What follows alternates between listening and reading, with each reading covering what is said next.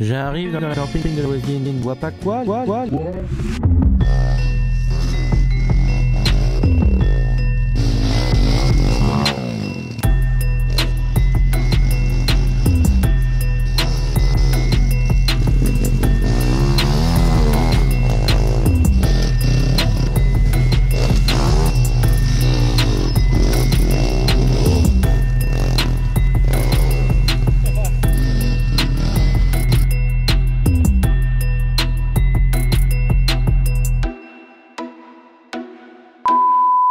Bordel là, presse-toi. Bonjour les amis J'espère que vous allez bien, moi je suis en train de fumer ma petite chicha parce que je suis dépendant. D'ailleurs, euh, d'ailleurs ne fumez pas. Après il y a quand même un avantage avec cette saloperie, c'est que c'est pas comme une cigarette, tu peux pas la mettre dans ta poche et tac l'allumer euh, toutes les euh, 15 minutes dans ta voiture machin. Il y a quand même un temps de préparation, euh, préparation relou, voilà, mais bon ça reste de la merde quand même. Aujourd'hui euh, je suis heureux de vous annoncer, et là ça me fait euh, vraiment très plaisir, déjà merci à ma petite maman euh, qui me tient la caméra. Et euh, j'ai reçu toutes mes pièces.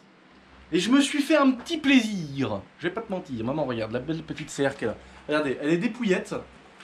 Voilà. C'est bon. Vous pouvez revenir, Nathalie.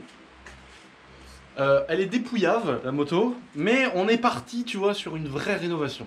Là, la moto, euh, j'ai tout démonté. La moindre petite pièce rouillée, je l'ai changée. La moindre, je je l'ai pas encore fait. Ça va être en vidéo, vous inquiétez pas. J'ai rien fait sans vous. Euh, la moindre petite patte, le petit truc, kit chaîne neuf, roulement de roue neuf, plaquettes neuf, kit réflexion des trilles avant, arrière, speed fourche, euh, cylindre, piston, vilebrequin, embrayage, on a tout mis. Euh, non, embrayage, je suis un menteur, il est très propre, on le garde. Il y a, j'ai vraiment mis tout ce qui allait pas bien, j'ai tout remis à neuf pour qu'elle soit vraiment magnifique. Il y a un kit déco sur mesure qui arrive par une marque dont je vous en parlerai dans la prochaine vidéo, qui était gentil, nous avons faire un kit déco. Je lui ai dit tiens, en passant comme ça, j'ai aussi une CRF 450 2018. Ils m'ont dit bon, on va t'en faire un aussi. Donc cool, super, ça fait plaisir. Euh, j'ai pas mal de petites choses que je vais vous montrer. Le moteur, il est ouvert, il a poil. Là, je prépare mon histoire euh, avec ma petite chicha. Je suis en train de me calculer comment je vais gérer l'histoire. Elle est trop loin, maman. Je peux pas la... je peux pas te faire fumer. Je suis désolé. Ah putain, c'est relou. C'est insupportable. Elle, est tout le temps en train de me piquer ma chicha, ma mère. C'est pas bien. Toi aussi, t'es dépendante. Hein. Arrête tes conneries. hein. C'est de ta faute. Non. C'est toi. Euh, bon, je me suis fait un petit plaisir. Pour ceux qui ont suivi ma petite story snap, j'avais fait un petit. euh, voilà, quand tu fais chauffer les freins comme un bâtard, parce que bah, c'est notre cas avec Baba, c'est tout, on roule sur la route avec la moto, on a, on a, on a tulipé le bordel. Le bordel il est conique, frère, c'est un bol, c'est une assiette. Donc je me suis fait plaisir. J'ai pris un kit oversize euh, avec la patte de dépôt, tout le bazar. Donc je me suis fait plaisir pour ma CRF 450. Je me suis fait plaisir. Je me suis pris deux béquilles et non pas une pour mon petit, euh, atelier. Je me suis pris deux béquilles. Donc euh, voilà, qui se relèvent. Je les ai pris en orange. Pas parce que je roule en KTM, je les ai pris en orange parce qu'elles étaient moins chères parce que ça doit pas se vendre. Donc euh, je me suis dit, je m'en branle, je préfère les avoir en orange, mais je les paye moins cher. Voilà. Euh, L'autre petit kiff, ça arrive là bientôt. Je me suis commandé une fontaine. Tu sais, la fontaine, c'est l'espèce d'évier avec le produit magique au bout du pinceau. Et là, tu grattes tes carters, toute la merde, les pièces pourries. Ça, c'est trop bien. Et je me suis fait un vrai, de vrai plaisir euh, qui vaut quand même assez cher. C'est un pont pour moto. Je suis trop content. Ici, on a une dalle en béton pour bricoler. Et je vais pouvoir m'installer un pont ici dans mon atelier. Avec, euh, bon, j'ai pas pris le truc pneumatique qui se met à fuir au bout d'un an, machin truc. Même s'il y en a des biens qui fuient pas, je m'en branle. J'ai pris celui à la pédale là. Tu montes ta moto, t'as un petit pince pour la roue avant. Ça, c'est le top. Là, il me reste quoi à faire sur la 125 Je vais commencer par remonter le moteur. Je vais remonter le bloc moteur. Une fois que j'aurai remonté le bloc moteur, je vais le repouiller dans le châssis. Après, il me reste des trucs à faire sur la partie cycle, donc euh, les poignées, remettre les roues, changer les, plaquettes, les réfections d'étrier, les carénages neufs, euh, carbu, euh, machin truc, tout ça. Je vous reparle de ça tout de suite, les amis. Et là, euh, ça part sur le petit remontage du moteur. À tout de suite. Allez les amis, c'est parti. Donc là, je vais défaire les roulements de vilo ici et là. Les roulements de vilebrequin, je vais les défaire. Donc là, je pose bien à plat mon petit carter. Tac, je mets mon petit emporte, mon petit emporte truc là.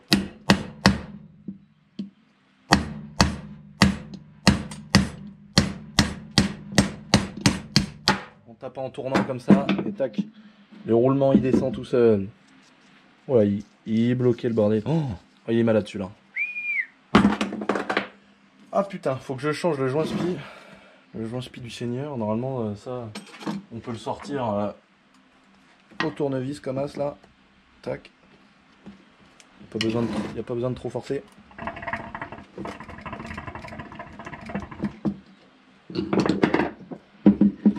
On peut aussi le faire de la même manière que le roulement dans l'autre sens. hein. Tu te mets bien sur la portée du joint. Tac. Un petit coup.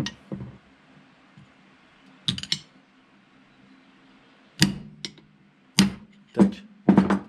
Et le voilà sorti. Oh putain.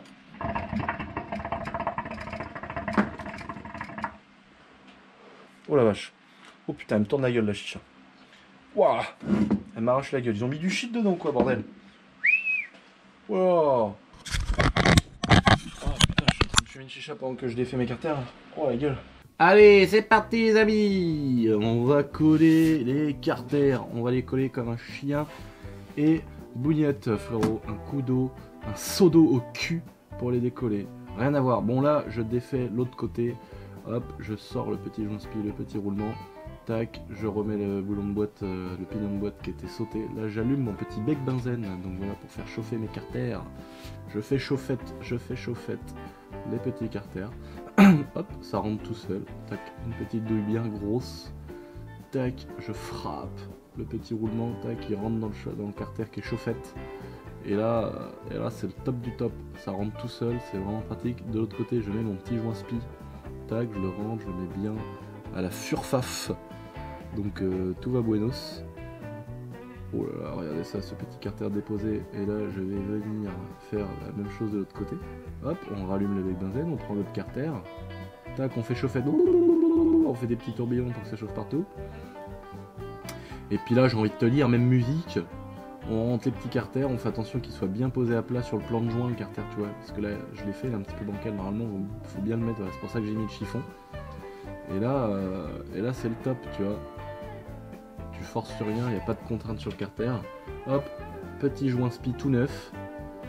On repouille ça, hop, un petit peu de nettoyant frein, toujours bien dégraissé avant de refermer le bloc, toujours, toujours bien nettoyé. Là, je sors la boîte, je sors euh, l'arbre primaire, l'arbre secondaire, avec toute la boîte et les fourchettes de boîte, pour bien nettoyer les roulements qui- qu'il y a dans le fond, parce que, comme j'avais déjà expliqué, c'est un moteur qui avait eu euh, un problème de fuite de refroidissement. Ah, excusez-moi. Et en fait, euh, bah, si tu veux, je vais pas te mentir, il y avait de l'eau qui passait dans la boîte à vitesse. Dans la boîte à vitesse. Et du coup, euh, bah là, faut démonter pour vérifier qu'il n'y a pas de la béchamel dans le fond, euh, que ce soit bien propice, et puis que qu'on puisse remonter un moteur propre, qu'il n'y ait pas de la merde dans les roulements du fond, etc. Là, je remonte mon petit joint spi, mais je me suis aperçu, en fait, je sais pas si on voit où il y a mes doigts à peu près là. euh, y a le carter avait la chaîne avait dû sauter ou casser euh, a une époque parce que c'est quand même une vieille moto. Et du coup là je fais de la résine bicomposant pour euh, il y a un tout petit bout où tu vois ça pourrait fuir au niveau du joint speed sortie de boîte. Donc euh, je fais chauffer mon petit bout de bicomposant. Hop en attendant je remonte ma boîte et après je vais venir poser ça délicatement euh, sur le côté qui est un petit peu endommagé. Et en fait je viens faire un, espèce de petit euh, liserette bicomposant autour du joint spi pour être sûr que ça fuit pas vu que le carter avait été endommagé. Ça avait été réparé avec une patte qui a tenu peut-être peut-être 15 ans que ça c'était comme ça j'en sais rien et du coup, euh, là au moins, j'ai refait un truc tout neuf, ça va bien tenir, et puis on n'aura pas de problème de fuite d'huile. J'ai changé aussi tous les joints spi, parce que là j'en parle pas forcément dans la vidéo, mais euh, j'ai changé tous les joints moteurs, donc les joints de sortie de boîte, de sortie d'arbre de sélection, de pompe à eau, j'ai mis un kit réflexion de pompe à eau avec les roulements neufs, axe de pompe à eau neuf. Euh, donc voilà, là j'ai posé le vilo, hop, je l'ai rentré dedans, dans le carter. Là, je me suis rendu compte que ma petite bicomposant, j'avais trois tendus, elle était déjà sèche. Là, j'ouvre le petit joint d'entrecarter. Hop, là, je, je sors justement le, petit. euh, là, c'est l'arbre de sélection. Tu vois, hop, là, je mets ma petite résine bicomp. Tu vois, là, je suis en train de pouiller ça avec mon tournevis. Tac, tac, tac, tac, pour boucher un peu le trou. Et après, je vais remettre une deuxième couche plus liquide pour pouvoir bien faire l'étanchéité. Donc là, j'ai mon petit joint d'entrecarter. Hop, pâte à joint. J'étale toujours de la pâte à joint sur mes joints d'entrecarter tous les joints joints en base. Je fais toujours ça pour être sûr d'avoir une full étanchéité moteur. Et donc là, tac, je pose mon petit joint et je m'aperçois qu'en fait c'est plus pratique de le poser sur l'autre côté, donc je le repose sur l'autre côté. Hop, je défais les petits pions de centrage qui vont permettre de bien caler le joint quand tu vas refermer tes carters. Et que ça va pas faire un truc chelou. Tac, là je referme le bordel. Hop, petit maillet en cuivre. Tac, pour taper. Normalement, tu peux prendre un maillet un peu plus doux, mais bon, moi je m'en bats les couilles. Ça marche très très bien comme ça. Je referme mon petit carter, je vérifie que tous les joints sont en place. Je, fais un essai de, sélection. là, je referme toutes les vis. Parce que des fois, ta boîte, elle peut se bloquer en fonction d'une rondelle mal placée. Et donc c'est pour ça qu'il faut toujours serrer toutes les vis de carter avant de faire un essai de sélection pour voir si tes, arbres de transmission et tes arbres de, tes arbres de boîte sont bien tous libres une fois le serrage des deux carters fait. Donc là je fais un essai. Alors avec l'accéléré c'est passé très vite mais j'ai fait un essai de sélection. Là je coupe au cutter les. J'ai bavure le, joint de le joint d'entre carters pour pas que ça fasse une surépaisseur quand je vais poser mon cylindre ou euh, mon admission là je recontrôle euh, un serragement parce que je le fais avec une clé à choc avec la puissance minimum de tous mes serrages de vis et je refais un serrage manuel à la fin pour vérifier que c'est au bon couple. Moi je me fais jamais trop chier à part pour les culasses, pour les trucs bien précis avec euh, une clé dynamométrique, je le fais toujours à la main parce que j'ai un peu l'habitude et du coup je sais à peu près à quelle pression, à quelle force, quelle force faut exercer sur les vis pour que ce soit bien serré quoi. Puis je mets toujours à peu près la même force. Là, je remonte l'allumage. J'ai déjà posé le stator. Là, je suis en train de visser le, rotor, donc euh, le volant magnétique. Là, je refais ma bicomposante euh, définitive que je vais refaire autour de mon arbre de sortie de, de, pignon de boîte. Tac, je nettoie, je dégraisse à fond, nettoyant, fera un petit coup de papier à poncer pour être sûr que la colle bicomposante elle adhère bien sur l'aluminium. C'est du truc fait exprès. Euh, c'est vraiment hyper hyper solide. Donc euh, voilà. Bon, le seul truc c'est qu'elle est transparente, donc euh, tu vois quand même la cassure à travers. C'est pas comme un truc noir que tu viens rajouter par-dessus, mais moi je m'en fiche. Ce que je veux c'est que ce soit efficace. L'esthétique, je m'en tape un peu. Donc là voilà, j'ai refermé mon petit bloc. J'ai remis ma petite colle qui est déjà sèche. Là, je m'occupe maintenant de la périphérie du moteur, donc côté embrayage. Donc là, je remonte ma sélection avec la deuxième partie du crabeau. En fait, c'est ça qui va venir euh, que tu vas venir bouger avec euh, ton sélecteur à ton pied gauche. Là, je vais remettre le doigt, ça s'appelle un doigt, c'est euh, une petite pièce avec une, petite roulette au bout qui va venir verrouiller la vitesse. Parce que sinon, si t'as pas cette petite pièce qui est montée sur un ressort très rigide, bah, ta boîte elle serait folle, tu vois, elle pourrait changer de vitesse toute seule. Donc c'est pour ça que c'est rigide et c'est pour ça que le sélecteur, il y a une certaine pression pour que les vitesses passent. Tu vois, il y a le doigt là, bon là on voit pas avec ma grosse main de gitan. Et là, je pose, le petit doigt qui va venir verrouiller en fait le crabeau. Le crabeau, c'est simplement un petit cylindre avec plein de petits conduits dedans qui vont faire euh, bouger les fourchettes de boîte pour euh, placer les pignons en face des bons euh, en fonction de la vitesse que tu as engagée. Donc là, c'est un peu technique pour ceux qui connaissent pas trop, mais ça vous permet de revoir le, remontage d'un moteur complet. Je trouve ça plutôt cool. Je sais que c'est des vidéos que, vous aimez bien, vous êtes beaucoup à me faire des bons retours là-dessus, à me dire n'hésite pas à mettre plus longtemps les ralentis du Seigneur. Donc là, je vous ai fait un petit ralenti par mille fois là, je remonte la, euh, le petit pignon en fait qui va faire le lien entre ce que je tiens dans mes mains tout de suite, ça c'est l'arbre du, cric, qui va faire le lien avec ce pignon que j'ai posé juste avant, et qui va faire le lien avec la, cloche d'embrayage, qui va elle après entraîner le vilebrequin. Donc tu passes par euh, quatre pignons. Quand tu mets ton coup de kick, en fait, t'engages un pignon, qu'engage un deuxième, qu'engage la cloche d'embrayage, qu'engage un pignon sur le vilebrequin et qui fait démarrer ton moteur. Voilà. Donc là, j'ai posé ma petite cloche d'embrayage, je vais la renlever pour pouvoir la limer. Parce que, comme j'expliquais en début de vidéo, elle, a des petites arêtes sur le bord parce que c'est une moto qui a couleur. Donc je vais simplement passer un petit coup de lime euh, sur les bords euh, des supports euh, de disque d'embrayage. Et je vais la reposer dessus une fois préparée avec tous les disques pour que bah, cette cloche d'embrayage, quand tu lâches l'embrayage, on n'ait pas cette sensation de crantage là qui fait que ça te lâche d'un coup l'embrayage. Hop, la petite clé à choc pour serrer euh, le pignon euh, sorti du bourquin. Voilà. Et le fait, avec ton coup de kick, il va engager tous ces pignons et euh, le moteur. Et ensuite, c'est le moteur avec le gros pignon qu'on voit à droite de la cloche d'embrayage qui va engager la transmission avec la cloche d'embrayage et faire le rapport avec la baie vitesse. Donc là, tac, j'ai mis le fond de, ma petite cloche. Hop, je regarde s'il n'y a pas de jeu, s'il n'y a pas de rondelle en main, toujours vérifier deux trois fois pour pas faire de conneries. Là je mets mes disques, embrayage, disque, disque garni, disque vis, disque garni, disque vis. Tac, je mets mon boulon au fond. Après il y a une espèce de petite rondelle que tu viens replier sur le boulon pour pas que ça se défasse en route ou avec les vibrations ou avec les heures pour être sûr de pas faire. Tac, tu vois avec ma pince je viens replier la rondelle sur l'écrou pour pas qu'il puisse se desserrer. Et cette rondelle elle est crantée si tu veux au plateau qu'il y a au fond. Donc elle peut pas bouger. Et c'est pour vraiment que ça, si ton boulon veut se dévisser, ça puisse pas se faire. Là, je mets le plateau de pression, tac, tous les ressorts et les vis. En fait, quand tu embrayes avec ta main gauche sur ton guidon, les ressorts que je viens de visser là, c'est sur ceux-là que tu engages une pression pour les reculer et laisser libre les disques garnis et disques lisses pour engager la boîte de vitesse plus tard. C'est pour ça que quand tu enrayes, bah, ça, désengage la boîte.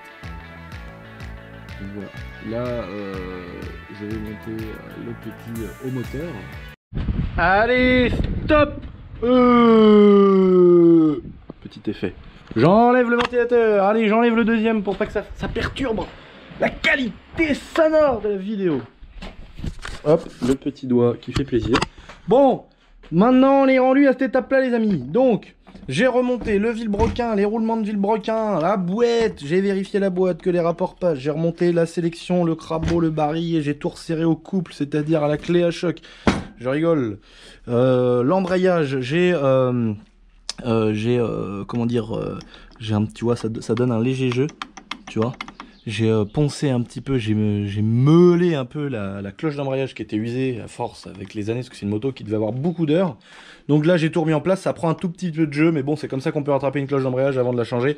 Le vilebrequin Il est posette Il est posé le vilo, il fait plus un bruit de vache. Tac, je l'ai équilibré, j'ai tapé droite à gauche, j'ai remonté mon joint central euh, d'entre carter avec de la petite pâte à joint pour être sûr. Maintenant, je vais passer euh, voilà, au montage du piston et du cylindre. Il me reste parce que euh, Honda, ils ont mis 4 ans, tu vois, ça c'est cette petite euh, axe de water pump. La pompe à eau du Seigneur La pompe à eau du Seigneur Donc j'attends que j'attends que ça arrive pour pouvoir refermer le carter embrayage, c'est-à-dire celui-ci. Là, j'ai remonté tout ce qu'il faut. Là, le petit vario, bon, moi j'appelle ça un petit vario, c'est une, tu vois, tu as des petites billes en fait, si tu veux. Et en fait, avec l'inertie, ça va, ça va, les billes vont sortir à tourner et elles vont déplacer une petite cam qui, euh, dans ce carter, euh, va monter et faire descendre cette cam là, qui va ouvrir ou fermer les euh, valves d'échappement. Donc euh, ça, je suis pas obligé de le remonter, parce qu'en fait là, le but c'est que je remonte tout le bloc, la culasse, le cylindre, le piston, tout le bazar, l'admission, carbu, que je repose ça dans le châssis et que je finisse le châssis. Roue, roulement, réfection d'étrier, euh, les poignées, les carénages, euh, kit déco, tout le bazar. Et comme ça, dès que je reçois mon petit axe du Seigneur, j'ai plus qu'à refermer mon carter embrayage, mettre mon huile, euh, poser mon kit déco, et puis, et puis parti, je peux faire euh, la dernière vidéo. Donc voilà les amis, c'est parti. Je vous fais un petit accéléré où je pose le cylindre, le pistonneur, euh, la culasse du Seigneur, toutes les conneries, et je repouille le, le bordel et son train là-dedans. Petite repose du haut moteur. Donc là, euh, je viens graisser un petit peu la cage aiguille que je vais mettre sur le haut du vilebrequin. Là, je mets le segment sur le piston, monosegment power. Dédicace à Tomahawk Tuning, power. Les gros transferts. Regarde-moi ça, Tomahawk. Les gros transferts du Seigneur. On dirait un push. Un push en 74cc, mon Seigneur. Donc voilà, petite pose du piston. Je remets les petits circlips. Voilà, faut bien faire attention qu'ils soient bien dans leur gorge pour pas que ça dégage dans le cylindre. Le cylindre que j'ai refait à neuf. Voilà, je pose le petit joint en base avec un peu de partage wing.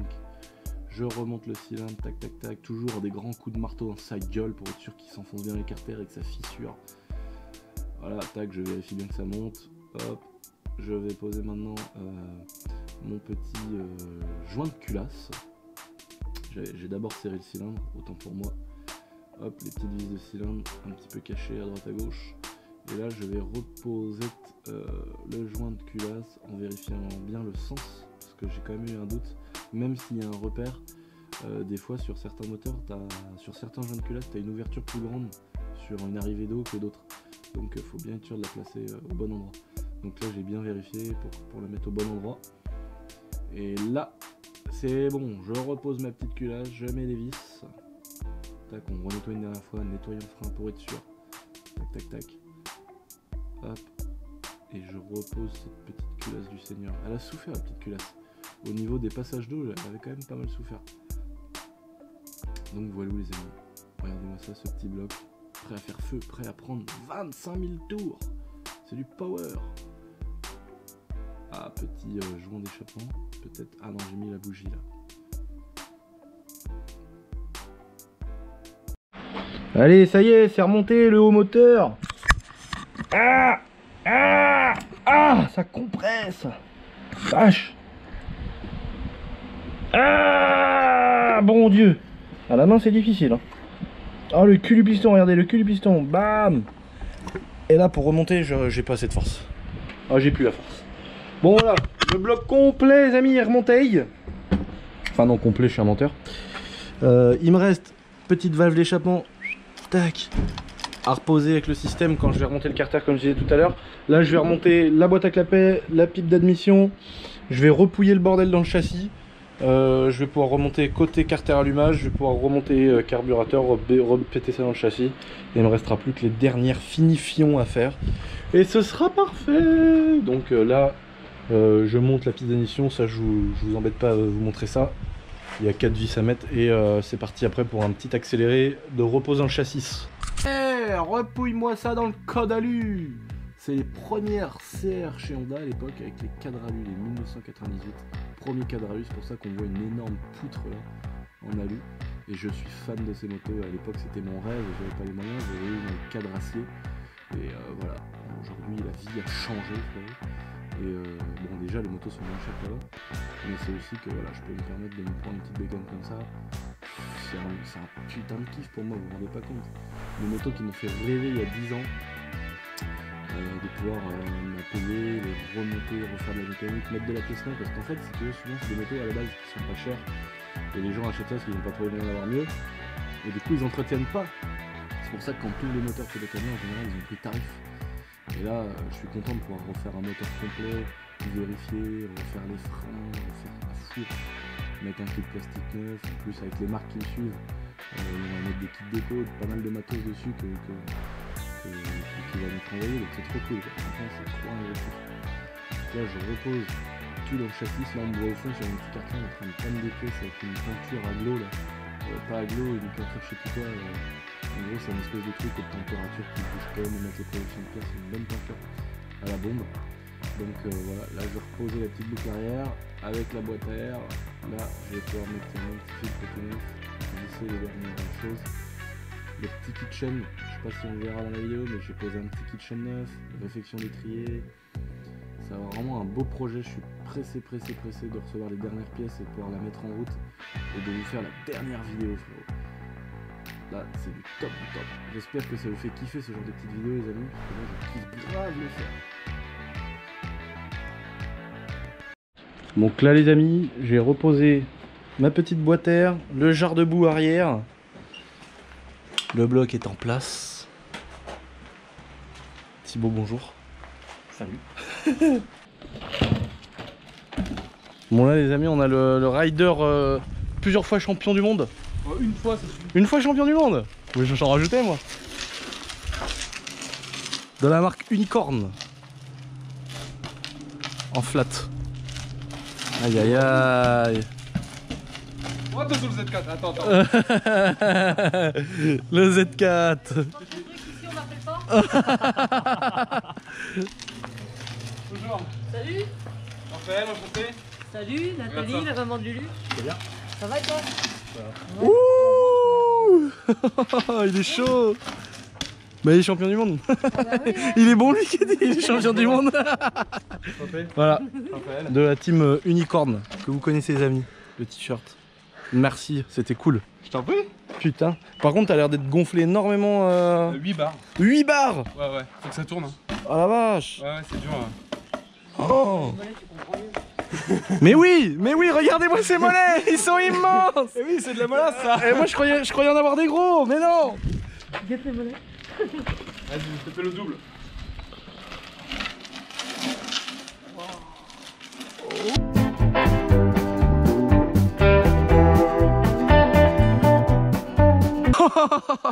Ciao.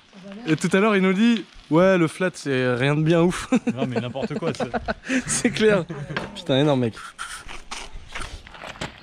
Merci qui Merci Jacques Michel. T'étais là? Si Jackie Michel Je vous ai mis son petit Instagram les amis dans la vidéo. Euh, c'est un champion du monde en flat BMX rider riding. Franchement, il a vraiment un putain de level de malade. Bon, bah, après, je dis pas champion du monde pour rien non plus, on va pas se mentir. En tout cas, ça fait plaisir de rencontrer des gens super agréables, super cool comme ça. Donc n'hésitez pas à lui donner la force les amis, allez le rejoindre sur son petit Instagram. Mais si vous n'avez pas le mien, allez sur le mien aussi quand même. D'abord le mien quand même, on va pas se mentir frérot. N'hésite pas à me rejoindre sur mon petit Instagram. Là tu vois, petit châssis, je suis en train de reposer les carénaches. Euh, je vais poser les roues ensuite, le radiateur, le système de refroidissement. Et, euh, voilà, ça sera déjà euh, une belle étape en une journée parce que j'ai tout fait ça dans la journée, frérot. Donc euh, c'était bien cool. Euh, N'hésitez pas, en tout cas, si vous regardez cette petite vidéo, les amis, aïe aïe aïe, ça pose la roue arrière, euh, à vous abonner à ma chaîne YouTube. C'est vrai, je demande pas souvent, et c'est vrai que dans les vidéos où je dis euh, n'hésitez pas à vous abonner, il y a- plus de gens qui s'abonnent en général. Donc euh, c'est trop cool. N'hésitez pas à vous abonner, euh, la petite cloche si vous voulez recevoir la même musique, frérot. En tout cas, ça me fait plaisir. Moi, je fais pas mal de vidéos, ça me prend énormément de temps. Je kiffe faire ça tous les matins, je me lève, il n'y a que des bons commentaires sur mes vidéos, mais merci les amis, franchement, merci, c'est trop trop cool de votre part. Vous me donnez la force de fou. Donc vraiment, n'hésitez pas à vous abonner si vous voulez voir d'autres choses qui arrivent. Il y a la dernière vidéo de la serre qui va arriver, on va la mettre en route, le premier démarrage, euh, le rodage, après on va rouler avec, faire du cross bitume bien évidemment, et on va rouler aussi sur terrain.